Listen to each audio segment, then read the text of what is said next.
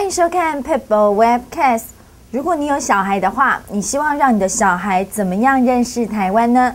这个星期在 People 公民新闻平台上，请您看到一则非常特别的报道。有一对五年级生的夫妻郭俊武夫妇，他们十月一号从板桥出发，打算用三个月的时间，带着自己四岁的小孩小宝，大脚小脚走读台湾。用台语来说，就是大卡细卡走读台湾。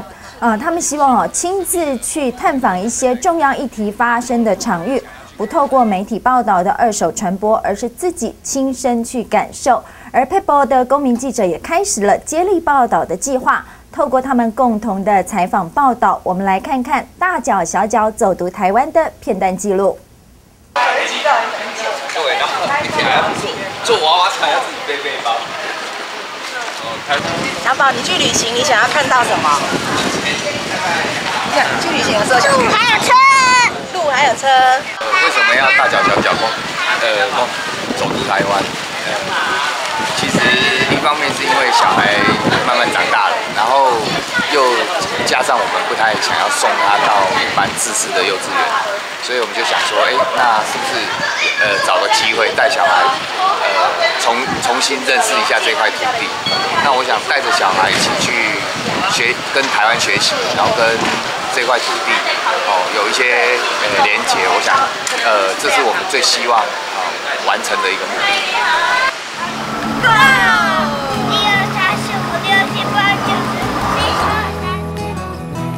大脚小脚走读台湾，一家三口走到竹北璞玉计划地，帮阿片采访当地农民。走到竹北东海里，然后听说他是那个竹北市的那个稻米比赛的第一名。那我想我们一定要问一下，对不对？就走了那么远，然后一定要来问一下，是为什么怎么样的米可以种成第一名这样子？哎，我每天就是去跟他打招呼，跟稻子打招呼哦，哦，跟他讲哦，我爱你哦，你要种，你要长出好的米。所以，我们现在我我也想要问一下这个田副会长哦，就是说，你们当初在一开始是怎么开始这个反哺育计划？那因为是老实讲，呃，政府是比较偏重哦这种工业发展，哦，对农业发展这一块呢，老实讲，政府就比较不重视这一块了哈。琼林潘先生感谢小宝爸，让他能认识更多人，并认为这个活动非常有意义。也常常在电视上有听到这样的的的自救会，可是都不认识啊。因为这样就把我们这这这个其实住很近，但是却要靠一个远方来的朋友把我们串联起来啊。所以其实这个活动，我觉得他们这个活动非常有意义啊。呃，我一直强调说，我们不其实不是主角，我觉得真正的主角都是在台湾各地的这些默默一直在努力的人。大脚小脚继续加油！大脚小脚走读台湾来到第八日，从新竹市走到竹南镇大埔里。特别的是，有民众一起加入走读的行列，我是觉得很感动啊，嗯，很就是很谢谢他们，为了这块土地，大家来珍惜呀。宝爸宝妈别有一番用心，用行走的方式走读台湾，不仅用大人的眼光看台湾，也用小朋友的眼睛看世界。什么什么什么自救会，哈，什么什么什么大埔事件这样，然后可能一般人听了就会有点怕怕的担心。好像议题很沉重，就没有办法让自己可以阅读下去。可是透过我们这次这样子的行动，又有中间有轻松软性的，然后那些有小孩的家庭，他们一开始是被吸引，是说啊可以带小孩环岛，怎么可能？我小孩走几步就嫌累，或者是这样子睡这么辛苦，孩子不会抱怨吗？啊？那他们一开始就觉得，哎，就吸引他的一个兴趣跟注意。那中间就边走就边觉得，哎，有意思，然后又听到一些这些人的故事。进来，进来，进来，等你。玩伴来了。大埔事件尚未完全落幕，民众聊起二零一零年怪手惨田那天的事，大家还是心有余悸。啊，这但是对你的生活这大影响吗？嗯，现在还好，之前之前不是难过，不是难过，那。两三个月的日子不好过，不好过。嗯嗯。那时候看到，我觉得他讲的那几句话都都是很真切的事实，这样。就说台湾变了，然后说，呃，你们是土匪啊。那我我觉得人在那个当下那个情境说出来吐出来的话，它就是最真实的。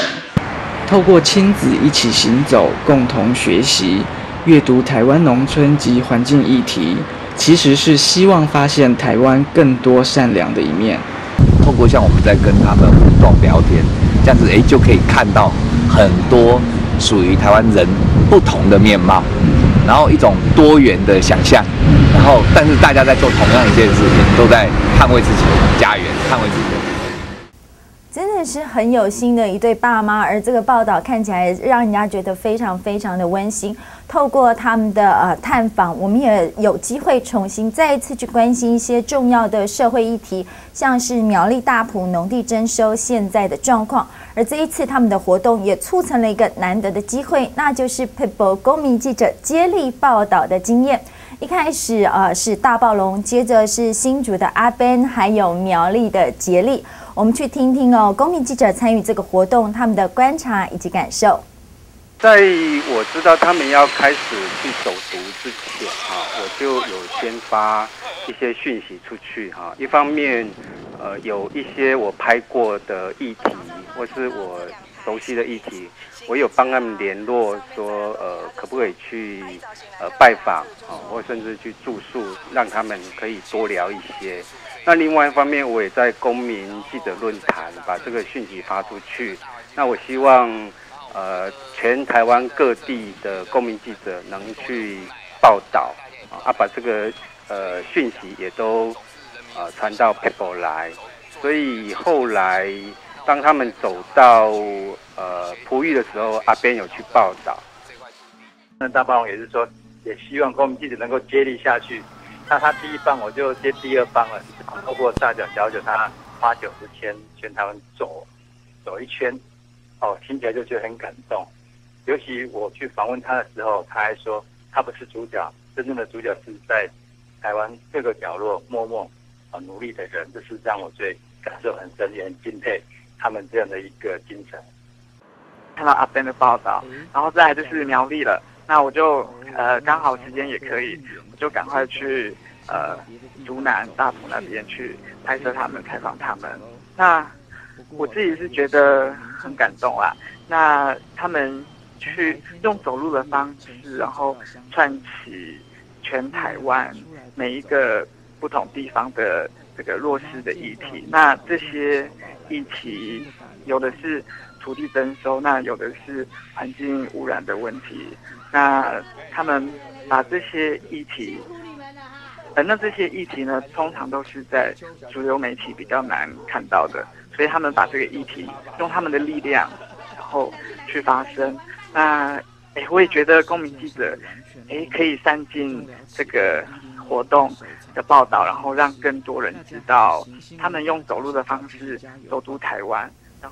这个是我们第一次哦，看到不同地区的公民记者共同参与一个活动的报道。而大脚小脚走读台湾的这个整个活动哦，他们现在才刚开始没有多久，未来他们的足迹还将往南到彰化、云林、嘉义、台南、高雄，然后绕过南台湾，继续往东部走，最后会在十二月底回到台北。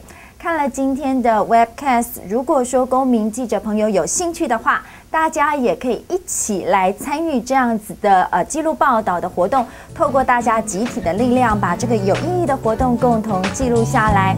Table Webcast，我们下次见。